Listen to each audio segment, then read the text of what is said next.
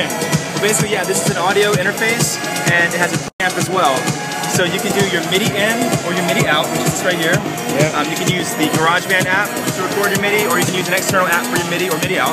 It also has an instrument in, which is mono for guitars, uh, microphone, bass, things like that. And here's your preamp. It's a 48 kilohertz sample rate. Here's your headphone volume.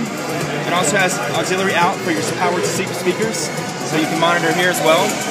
And it's basically the Guitar Connect Pro, the MIDI Connect, all combined into one with the extra features of using this. And also on top of all that, it charges your, your iPad. Okay. Um, yeah, so on the back, you've got, let's see, you got your speakers out. Can you see it good?